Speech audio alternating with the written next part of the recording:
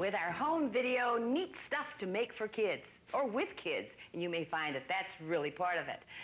These instructional tapes, they're kind of nifty, I think, because it gives me a chance to take everything step by step by step, and you, of course, have the opportunity to push the button, to stop, to start, to rewind, to fast forward, to get to where you want to, and to learn what you need to know. I've had a great time putting all these neat things together, and I hope you'll have just as much fun as I have.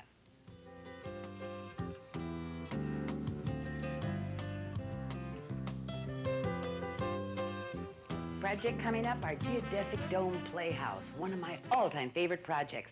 I felt so smug and clever. Got the idea for it in a catalog priced at $54.95. Made this one for the chenille stems less than $4. Besides, the kids love it. Want to make one like it? Here's what you'll need.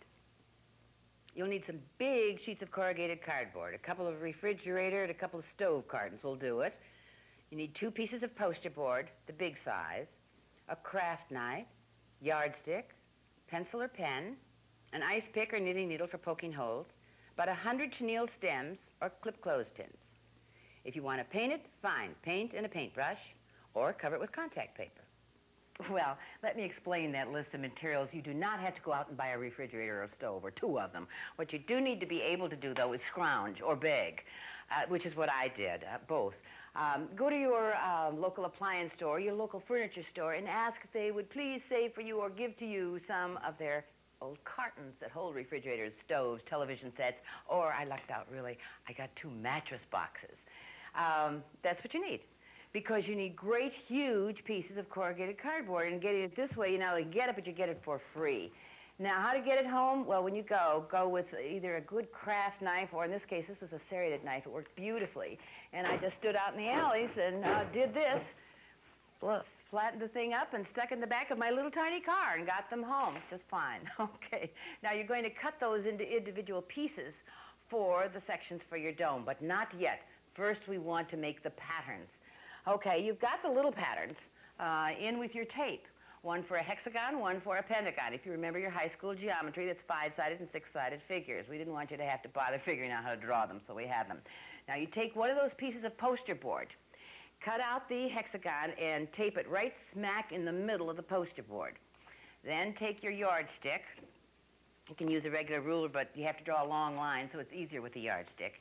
And simply extend those lines that are already in your pattern with a black marking pen or a pen that you can really see all the way, as I have done here. Do that on every single one of them.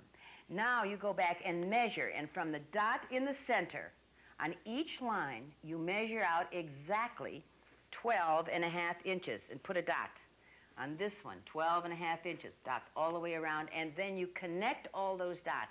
And each line that joins the dots should measure exactly 12 and a half inches. So much for the hexagon. Now you do the same basic thing with the pentagon, except that your measurements are a little different.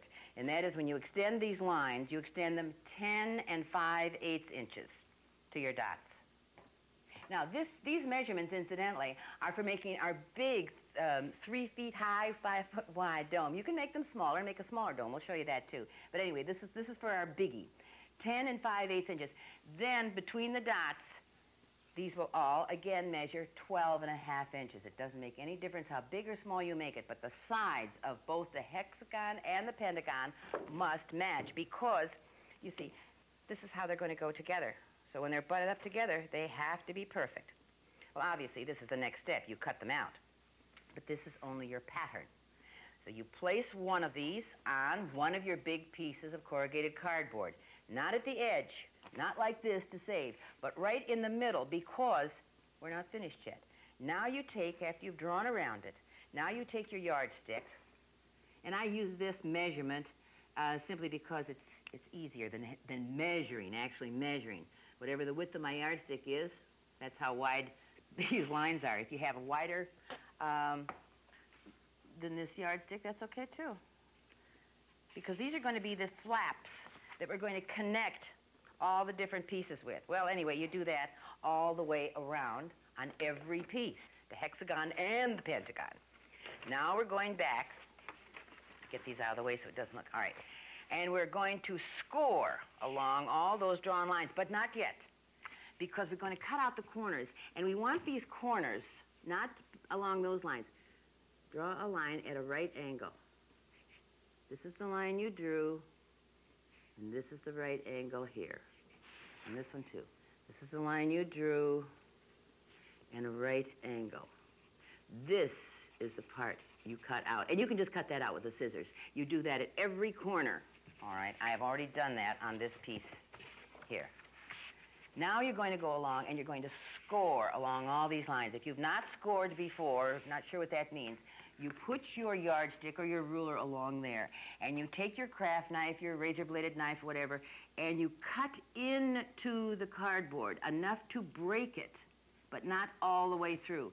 Reason for that is we want to make a nice crisp fold. So this means, see, this is the way it's going to go.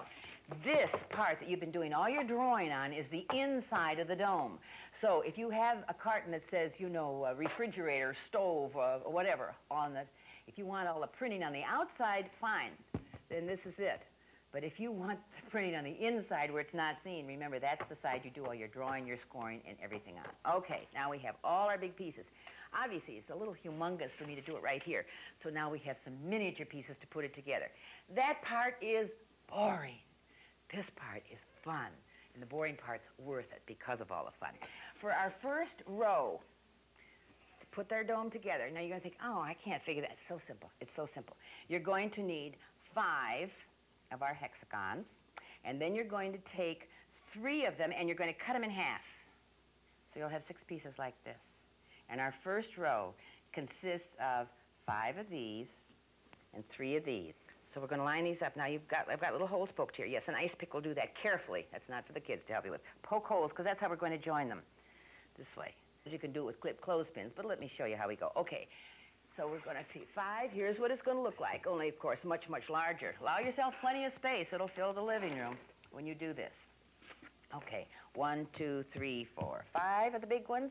One, two, three, four, five halves.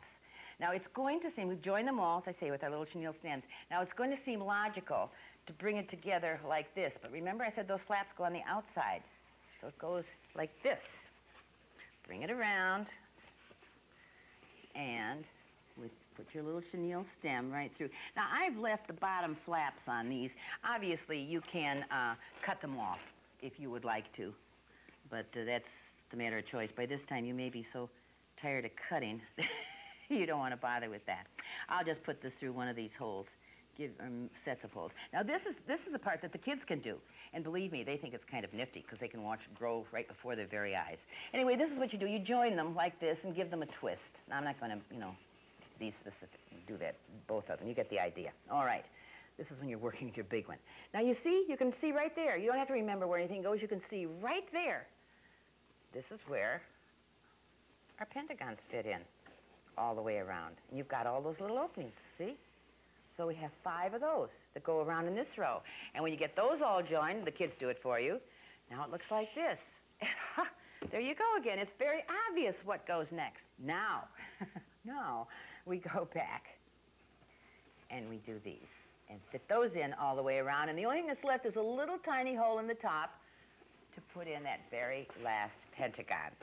By the way, this is the greatest project to make for your grandkids. My kids thought I was so wonderful. This is not a grandmother kind of a thing, but they thought it was great. It's also a nice project for the scouts to work on, the Cub Scouts to work on, and uh, or for a group of you to make for the nursery school or the church Sunday school, whatever. Anyway, uh, the thing is fine, but there isn't any door in it. So here, we put a door in. And all we did was on one of the pieces, on one of the hexagons, cut uh, a circle almost and then scored a straight line. Now remember, you fold away from the scored line. So the scored line, if you want the door to open out, is on the inside. The same side that you score these things on, you also score for the door.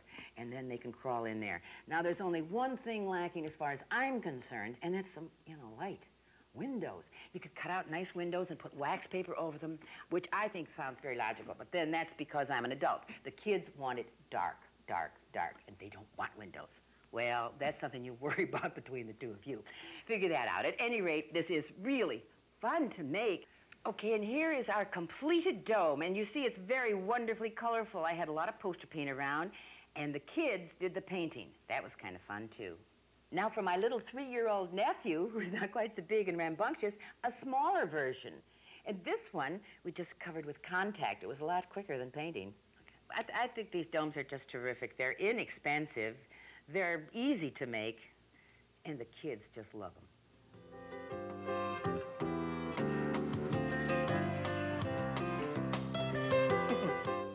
You don't have to be a kid to enjoy looking through a kaleidoscope.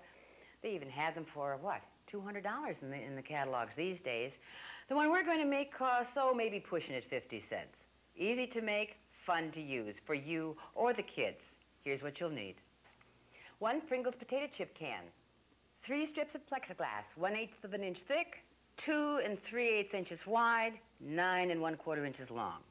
Then you'll need three pieces of black construction paper, same size some plexiglass scraps, plastic circle, two and three quarter inches in diameter, a strip of medium weight cardboard, 3 8 inches wide, 9 inches long.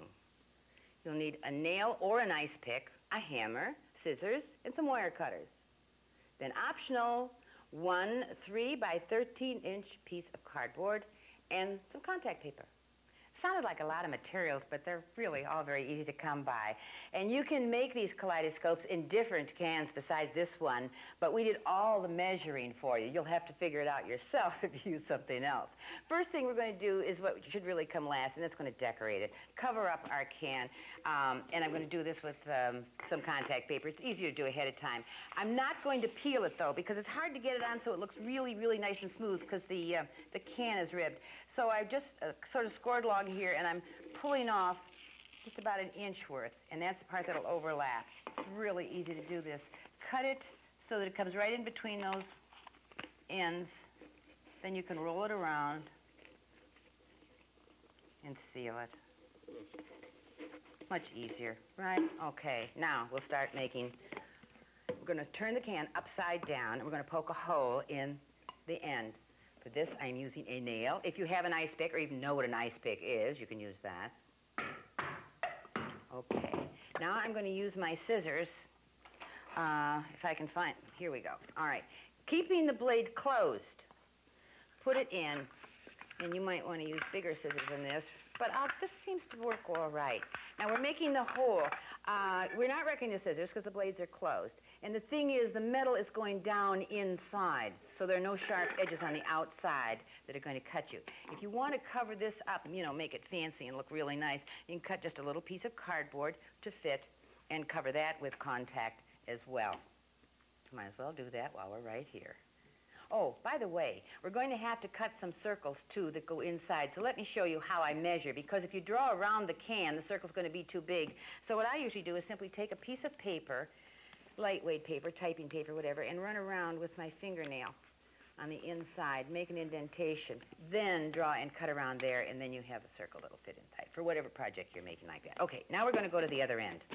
Now, ordinarily, you think of mirrors in kaleidoscopes. Well, we're not using mirrors at all. We're going right over to the hardware store and getting some plexiglass. We gave you the size of these strips. I figured that out. I don't know how, but I did. Um, you can cut this yourself. It's very easy to cut plexiglass. It really is much easier than glass or they'll cut it for you. Plexiglass, the, the uh, eighth of an inch thickness. I paid a dollar and a half, a dollar and a half a square foot, so you can see they're not too expensive. These are the plexiglass cutters. This is a cheap kind. If you're going to be making many, buy one that costs five dollars. This is only a dollar. Anyway, easy way is to have them cut it for you. And you get these three strips. And don't worry, I'll tip it over so you can see what I'm doing. And get two of them in here like this. And then the third one, sorry, I have got to look get it there, like so. And they hold themselves right together because they fit so perfectly. Piece of construction paper in back of them, and that will now make it a reflective surface. That's why we can use these instead of the mirrors. Now, incidentally, if you're using this as, say, a Cub Scout project for the kids to make, and this is a good one for that, you might not want to go to the expense of the bother of the plexiglass. You can use some of this lightweight plastic or acetate. You can um, buy this by the sheet in art supply stores. You can also buy it in different weights like this at the hardware store, uh, Flexiglass is the brand name I use. Anyway, they use it to cover up uh, your windows, you know, to make your quick storm windows in the wintertime. Now, because this isn't stiff as the plexiglass is, then you'll need some black cardboard to go in back of it to keep it stiff in there, or a piece of regular cardboard and a black construction paper to give this effect. That's the main thing. Okay, so that's the easy, inexpensive way if the kids are doing this, and you don't have to worry about cutting that all out. All right, now, we've got this in. We want to hold it in place. So that strip of cardboard we told you to cut, the narrow one, not quite a half an inch thick, is what goes in here, and just big enough to go around. But before we put that in, we're going to put in a little circle of plastic, the same kind of plastic we used there. This is cut so it will just fit inside. We measured it the way I showed you. If you can't get this acetate or heavy plastic, you can cut up the side of a, of a milk carton and use that. This will work. It really will. Okay, now we're going to put in our little strip of cardboard, which will hold everything together. And now comes the fun part, putting the things in that are going to look so pretty. Now you can use beads, small small beads, colorful glass beads, and any kind of whatever you might find. I use more plexiglass. When you get the plexiglass at the hardware store, ask them for some scraps. They always have them. They'd be glad to give them to you. They don't come like this, of course. You color them, or the kids do, with uh, magic markers, permanent marking pens, all wonderful colors. Then break them into pieces. You can't shatter this like you do glass uh, by hammering it. You really do need a wire cutter. We just cut off little chunks, but little chunks, little chunks, and put bunches of them. Of course, if you have any glass beads, you can use those too.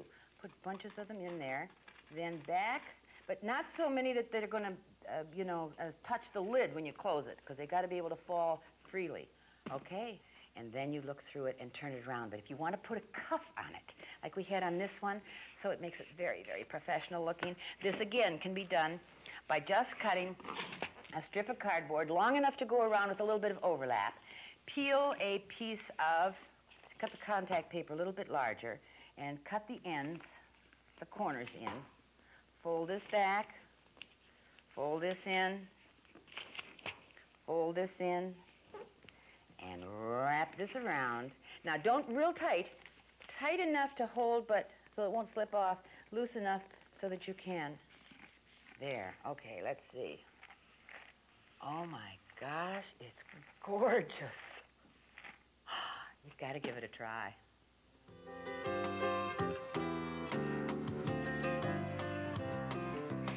Our tape is called Neat Stuff to Make for Kids, but you don't have to be a kid to enjoy teddy bears. You can make them for your grown-up friends, too. And even though these were all made from the same pattern, they all have different looks, they're different sizes, even different colors. We're going to make a teddy bear teddy bear. And here's what you'll need to make one. Two 12-inch squares of fake fur, some small pieces of felt for the face, black marking pen, or a needle with black thread to draw the face, polyfill stuffing, scissors, and a sewing machine if you have one, otherwise needle and thread. Now optional, needle nose pliers, wire cutter, 16 gauge galvanized wire, and some ribbon. Okay, this is one of what I refer to as my sewing project for non-sewers. Um, oh, I made it on a sewing machine all right, although you can do it by hand, but I sort of um, make it up as I go along. It works, and you can make those awful cute teddy bears. This is a very simple way. Now, you have a pattern in the box that your tape came in, and you can make a little teddy like this with the pattern that you received. But if you'd like to make a bigger teddy, take the pattern down to your nearest office store, the post office, or wherever they happen to have a copy machine and enlarge the pattern. And that's what we're going to do right here. The amount of fabric, of course, the pieces that you want, you want two of them, cut so that they're just a little bit bigger than, than the teddy bear. And pin him to the top layer. You want two of them, of course. Pin him to the top layer and then trace around. We've done it with a dark, dark, dark pen so that you can see. And that dotted line down the middle, be sure and draw that in. And after you've drawn it, then you're going to cut it. Mm-hmm. Give the kid an operation right there. Now, put your two pieces back together again with the right sides facing, pin them together, and sew all the way around. So I mentioned some of our teddy bears were stitched by hand, but if you have a sewing machine, certainly it's a lot easier, especially on the, on the big size like this. Ordinarily, when you're making something that you're going to turn right side to, you leave a portion of it unstitched so that you can turn it right side to through that. Then you have to fold it in and hand close it. That's why I do this. I think it's much easier this way. And with the fur fabric, it isn't going to show. Now, we've stitched this in black so that you can see it. You would, of course, stitch it in pink or, or maybe even white. But you sew all the way around. You do not leave any unstitched areas. And when it has been stitched, then you go and you cut it out. Oh, a quarter of an inch to a half an inch, about a quarter of an inch, all the way around. And be sure you take your scissors and slash, slash, slash around all the curves so that it'll give a nice smooth curve when you turn it right side too. And then all the indentations like this slash in almost all the way to the stitching line. Now, that's what we use, as I mentioned, for turning it. Even, even with that nice, great big slash there, it's still going to take a little bit of work to turn that whole teddy through that hole but I do think it's a lot easier. And then when it's turned, you don't have to worry about being so careful when you close that up again. See, we're coming through like that. Okay, we get the whole teddy all the way turned around. Now, of course, before you stitch him up, you're going to want to stuff him. And we use lots of this nice polyfill stuffing for that. The extremities first, his, his paws, his ears, his face, and then his body. And it's up to you, of course, how squishy or how solid you want him to be. If you want him real solid, you really, really, really pack it in and make it like this little guy here. And when he is stuffed to your satisfaction, then you hand sew his operation closed. See, you can hardly see the scar there at all. The next thing, of course, is to put on the face. Now, that's up to you whether you put on real eyes, uh, things that you buy at the store. Ours are just felt. Now, let me show you something about this our little nose and our eyes are dark brown felt. You put them up like this. You put them down like this. Now, that's cute. That's cute. Funny. I mean, there's no way to make a teddy bear that's not cute. But if you put the eyes almost even with the nose, I'm doing this upside down. I can't tell, but I'm guessing from my placement, almost even with the nose, that that's probably about the cutest face. Then stitch it on very carefully and very, very thoroughly so that little ones aren't going to pull those off and get them in their mouth. Now, there's one other thing that you can do. Notice what our teddy here does. You can bend him, and he'll stay where you bend him. That's because, going back before he was completely stuffed, we put some wire in here. Now, this is just very flexible wire. You can buy it like this in the reels at the hardware store. And cut a length of it, just long enough to go right across here. And then notice I bend a little hook on there so that you don't have the wire pointing out, just to round it off. Put some stuffing in either end, curve this, then put it in, and then you can straighten it out. And you can do the same thing for the arms, if I call teddy bear's arms. All right, now more stuffing, of course, then sew it up. And then it will do this. Again, of course, I wouldn't recommend that if you're making this for an 18-month-old or a two-year-old or even a three-year-old. But for the little older ones, it's just like a nice little teddy bear. The wire does make it kind of cute. So you see, you can make yourself cute little teddy bear like this. And incidentally, this is embroidered. Or you can enlarge that pattern and make a cute little teddy bear like this. You can do whatever you like. They're all cute, and they're all easy.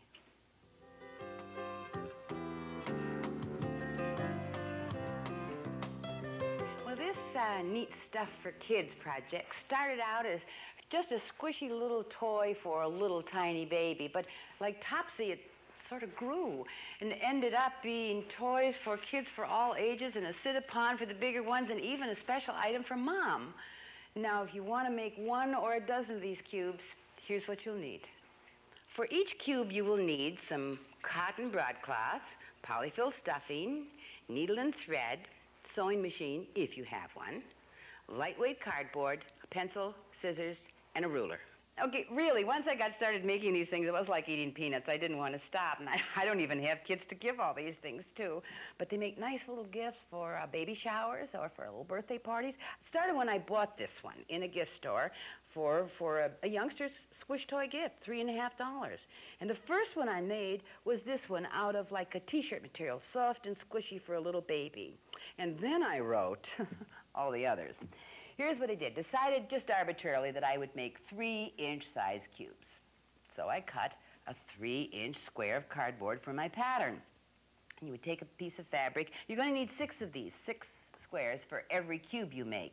So I'd probably be able to get six out of this one. And draw around it.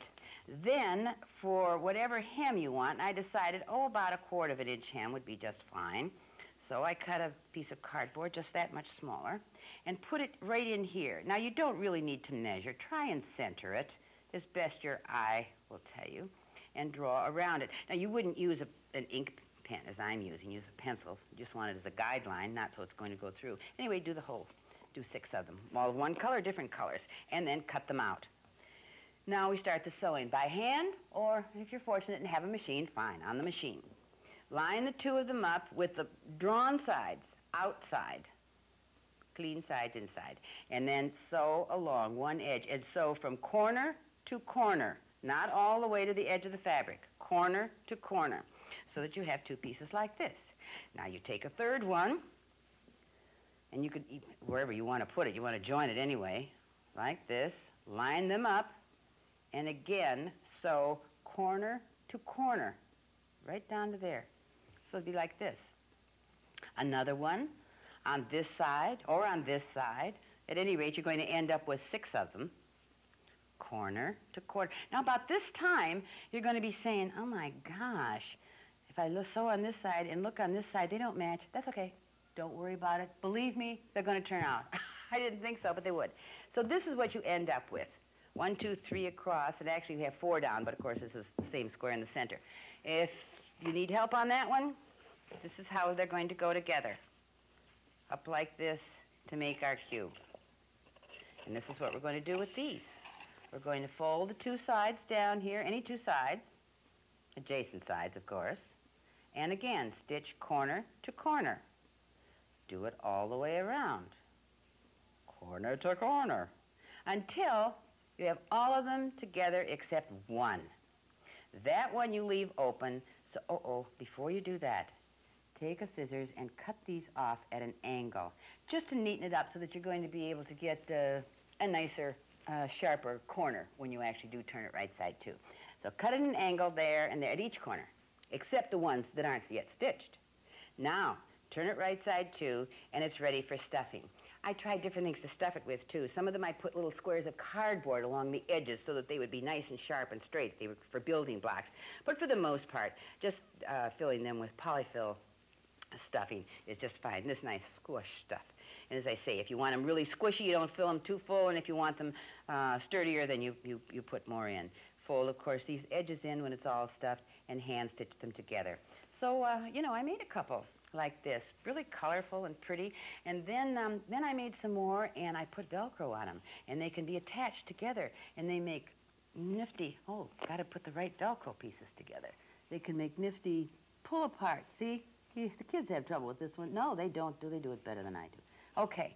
Pull apart, pull apart, push together, push together. Put a face on the front, a tail on the back. You can make it just, you know, 20 of them long if you would like to. Then I made some more, and I stuffed them with unpopped popcorn or beans for great bean bags. And then I made another one for Mother. Put a steel wool in there, and it makes a great pin cushion. Put the popcorn underneath. And then I got really carried away and made some 12-inch squares and made a wonderful sit-upon. This time, the outside square was 12 inches. The inside pattern was 11 and a half. I wanted a half-inch hem all the way around stitch a handle in just as you're closing up one of the corners like that and stuff it with shredded foam. That way when they sit upon it, it'll bounce back a little better than if it was polyfill batten. And if this is just a little too delicate in color for you, how about this wonderful one with the polka dots and all the vibrant ones? Any size, any color. They're so easy and they're such fun for so many ages.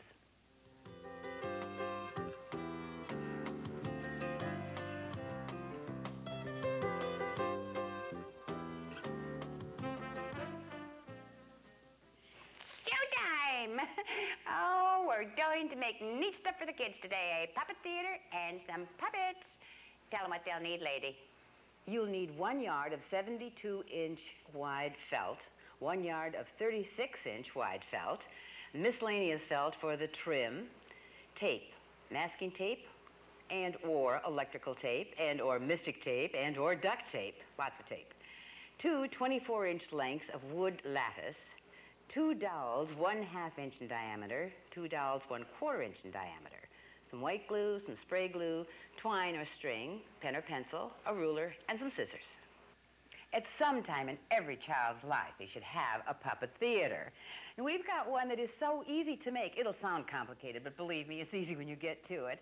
Uh, and I copied this idea from one I saw in a catalog. That one was $36.95. This one was under $12. That one was made of cotton, and it was stitched. Ours is made of felt, and it's taped and glued. In fact, you don't even need to glue it. It's every bit as colorful, and I think we made some things that make it even nicer. Here's how we did it, and I'm going to do it on a model so that you can not have me do it with felt all the way over this table. Felt usually comes 72 inches wide. So I bought one yard, but this is the way it's going. 36 inches across the top, 72 inches long. Fold over the top two inches of felt, and we're going to run some tape down there. Now, I ran masking tape, which is okay if you put a couple of layers of it, but we're going to put slashes in this, and we the tape is to sort of uh, uh, not only kind of make the felt a little sturdier, but also to keep it from tearing. So if you have electrical tape or duct tape, it's wonderful, do that. Um, but two-inch wide strip of it would be just fine. You don't have to tape it down, just tape it across there. Then about 25 inches down, I'm going to run another uh, row of tape. And we're also going to make some slashes in there, about 16 across this one and 16 across this one. Uh, they're little vertical uh, slashes, uh, just about an inch uh, along there. And I say 16 simply because it's a nice number, that's all. Fold the, the two side edges in now a couple of inches and tape that to hold. Again, this step isn't necessary. I only did it to just give a finished edge to the theater, that's all. You know, give us a little weight there too. So here we are with the two side edges taped in, tape here with a bunch of slashes, and a bunch of slashes in this one. Now we're going to put that aside for a minute, and we're going to go to what goes on the front of our theater, proscenium arch. Okay, another piece of felt, this time in a bright color, yellow or gold or orange. Uh, a piece 32 inches wide and 27 inches deep. Then inside of this, I drew a rectangle that is four inches from the bottom, four inches from each side.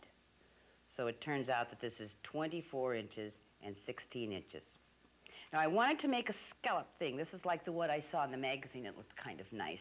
So uh, I arbitrarily picked the figure five inches, and five inches down from the top on each side, I put a dot, and I put a dot in the center, drew a straight line between the dots, and then made scallops, cut scallops along there. And the way I'd cut the scallops on, on our big theater is I took a, a sauce dish out of my kitchen cupboard and placed it there, drew around it to get nice scallops. Okay, so far so good. Now, turn the piece of felt over and lots of spray glue on it. Go back to our theater here and attach it to the background. Where? Well, about an inch in from each side, and that's how wide the piece is. It'll happen that way. And about two inches down from the um, bottom row of slashes, like this. Now, remember that rectangle we drew inside? We're going to cut on that. And this time, of course, it's glued to the background, so you're cutting through both layers of felt. Cut across, cut up the two sides and across the top, not the bottom. The two sides and across the top. This is going to get folded back like this. I'm going to turn our theater over here. We've added one more thing, or four more things, I should say, actually. A couple little strips of felt uh, that we've just glued in place here. These are little loops, and they're just going to hold our dowels as we put them through. Now we're going to go to our miniature mock-up version, and you'll see exactly what I mean. Through all of these slashes, we put dowels. See, there's our tape and the dowels. Tape and a dowel. Now here's our little loop and a dowel. This is where this comes over. This is going to hold a dowel that's going to hold the curtain, but we're not ready to do that yet, so I'm going to just leave that. All right, now I'll show you the secret to make this whole thing work on your wall. And if you put it over a doorway, that's, that's, that's great. We mentioned in our list of materials that you'll need 30-inch um, lengths of lattice. You could even cut off a yardstick, or don't even cut off a yardstick. Use a yardstick, a couple of yardsticks if you want to. You need a length of wood. That's what these represent. I use lattice. And poke a hole, or drill a hole, in one end of each one. Then we're going to take a length of um, uh, string or twine, pull it through there. The other end, make a loop, and put it over this dowel. Now there's 22 inches length between this knot and here. It doesn't have to be 22 inches. It can be 20. It can be 23. The main thing is that between these two loops here and where it's attached to those pieces of wood, these should be the same length. That's the main thing, that they're the same length. Here's how it works. Now, on your doorway or over your doorway or on your wall, I hope you can put a couple of cup hooks someplace. If you can't, maybe a couple little nails or tacks, because we're going to fit our dowel, our top dowel, right in there. Because this is so lightweight, I'm going to uh, tape it. You won't have to do that, of course. Now, here's how the whole thing works, you see. When I practiced this, I just did it with a couple of yardsticks and an old sheet to see if it would work. Here's the string. It goes flat against the wall. And that piece of lattice, or as I say, if you're improvising with the yardstick, goes like that. And the weight of the felt will hold those in place. Trust me, it will. On the little one, it's not always so sure here. Okay? So far, so good. Let's go over to our big one and see how it really does work. Grand, isn't it? All right, now, for our theater, see, this is the dowel. I told you went in there, and this is the, the curtain. All I did for the curtain was, again, fold some, some uh, the top of the felt over and taped it, and just cut slashes. And of course, when it's showtime, these just get pushed back. We don't have a, a, a draw theater curtain there. The kids, uh, you, you can see the kids did this. They spilled a little glue around here, put our decoration on. You can do anything that you want to in the front. It's what's inside that's so wonderful. Well, here we are backstage, and there's room for a crowd. A crowd of little people, anyway. Okay, here's here's what I was telling you. Now, there are the cup hooks holding up the doll. That's about um, the height of an average doorway, incidentally. And here's that 22-inch length of cord or twine tied through the hole in the end of the yardstick or the, the lattice piece, and it fits up right there under the dowel. And, of course, one on the other side, too. You can see all the tape, and here's the dowel with the little loops that holds the curtain. Now, here's something I didn't tell you about. Usually when the kids are behind the proscenium arch, of course, they stand there and they're seen by the public in front, or else they have to stand way down and hold their arms over their heads. So I added this. Um, another piece of felt, uh, oh, long enough to come below the opening of the stage, of course, folded over with more slashes. And this is just a piece of wire, kind that I got at the hardware store, and wove it in and out, in and out, bend it out, of course, like this, away from the stage a little bit. Put a hook on each end. One hook at the, over the dowel here, and one hook over the dowel here. Then so it wouldn't fall down, another length of wire, with a hook at that end up over the dowel that's, you know, at the top of the thing, and the other one, a hook down here, and it holds it all up. And that's it, and it works perfectly marvelously, and everything's done except, what good, of course, is a puppet theater without puppets. Oh, am I on? Am I on? Oh, hi there. Just a sock and a couple of ping pong balls, and here I am, folks, ready for action. Howdy.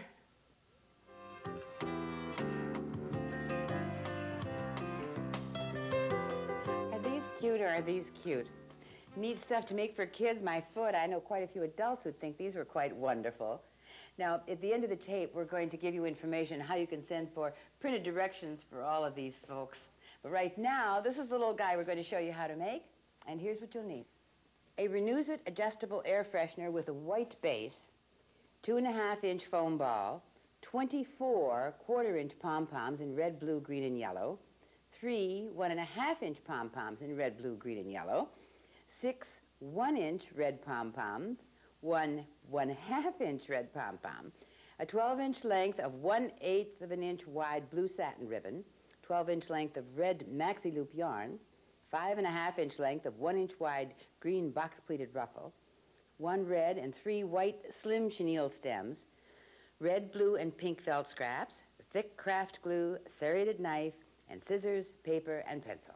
Well, this is when I get to take life easy because this wonderful little party man is the uh, creation of Cindy Groom Harry. Who Cindy has made all these wonderful creations out of um, Renuzit adjustable air freshener containers. That's right, and the wonderful thing about this particular project, Carol, is that it's very simple. It's great for doing with kids or for a group project with children. Or for people who just like to take life easy, like me. I want to watch. True. Well, the first thing we've done is cut a one-inch slice off of a two and a half inch foam ball. Go ahead and apply glue to the surface, put it on top of the topper, and let it dry. The next step is to make the balloons. And to do this, we've simplified things by using a one and a half inch pom-pom, a length of chenille stem wrapped around and twisted a couple of times to hold it. And that gives you your balloon. Well, you don't even need any glue on it. No, just very, very simple. Terrific. go ahead and put all three balloons together and twist them in the middle so that you'll have a unit, just like this. The next step is to glue one-inch pom-poms on the shoulder to create the arms. And then you can also glue the balloons into onto the front of it. Now, your white so. glue will hold on all that plastic? Well, it will if it's pom-poms, but on this particular part of it, you might want to use a hot glue gun because, and if you do, be certain that the adults use it rather than kids because they do get hot, but they stick real well. The next step is to make mittens, and you can make a very, very simple mitten pattern by just tracing out the shape onto a piece of white paper, cutting it out, and taping it to the felt. Then fold the felt in half and cut it out so that you get both mittens at once. Do the same thing for the foot pattern. And in describing this to the kids, I usually say it's a teardrop shape with the back cut off, and that will make the shoe. So we have two of those. And as you can see here in this sample, we've glued it to the bottom and also glued the mittens covering the chenille stem and over here on the right side. Also, you can decorate around the neck using a length of box pleat ribbon. This is a five inch length, and if you don't have a box pleat ribbon, you could substitute with some sort of uh, eyelet lace or something that would, that would work. It's a wonderful shade of green, though. Yes, it is. Very it's nice clowny. and bright, yes. Then, for the shoelaces on his shoes, go ahead and tie a little bow in a five inch length of blue ribbon and glue it to his feet. Would I be permitted to just use some white crochet thread or some, even some string? Sure, any substitutions, and this is the sort of project that's great to be able to use some of those sewing notions that you have. Remember all those little scraps we always Mm-hmm. have left over? You could even put a pom-pom on there. Sure, make it more simple. I never can make bows out of those tiny ribbons. That's why I'm giving all these Well, that's true. You know, and that's a good idea, too, because sometimes children have a little trouble. So if you want to, you can pre-tie the bows ahead of time and then pass No, them No, you out. can do that. I'm not about to. Well, the next thing is to decorate the face. And with this face, we can take and use permanent magic markers on it, or you can cut them out of felt. And in describing the mouth shape for students, I usually say, go ahead and make a hot dog shape, only bent on the end, so that it, Perfect, yes. it works just fine for the outer mouth. And when you cut it out, it'll look like this. You can bend a little red smile out of chenille stem and glue that on. And then you can cut little star shapes out of blue felt, glue that, a nose out of a half inch, and then add little tiny wiggle eyes to it so that when you're finished, the face will look just like oh, this. Oh, that's like a, a, work of art. It really is. My goodness. It can get as elaborate or as simple as you wish, that's depending on the age. Wonderful head of hair the kid has. Well, that's what we need to add next. And this happens to be a length of maxi loop that is glued onto one end and then pulled into a, a circle, a flattened circle. is this sold by the yard? You can buy this by the yard in your craft stores, and if not, you can substitute with other types of chenille or yarn or something like that. These are Glue it to the, glue it around the head, and then this is also enjoyable because here's where you can decorate the suit with all different colors of pom-poms, just gluing them any which way, and you have your That's finished what it looks clown. like. That is as cute as it can be. You know what these would be darling for, too, if you had the time and the energy, um, although it doesn't take a lot of energy, is to have those as party favors at a youngster's Sure, birthday that party. That would be good. Or it could even be part of the party, the kids making it as, you know, we're always looking for things oh, in addition right. to games. so- Yes, no, that is really cute. And it's just out of one of these um, air freshener That's right. containers. Mm. And also, it's functional because it can still serve as a Renuzit adjustable air freshener. Oh, well, if you made them as party favors for the kids, they could take it home to their mothers. That's right, and everybody's happy. Cute idea, just really nice. Thanks for sharing them with us, Cindy. Well, that's it, the end of our videotape. And I hope you feel as I do. Oh, is it over already? All in all, it should be great fun. It has been for me. Hope it will be for you.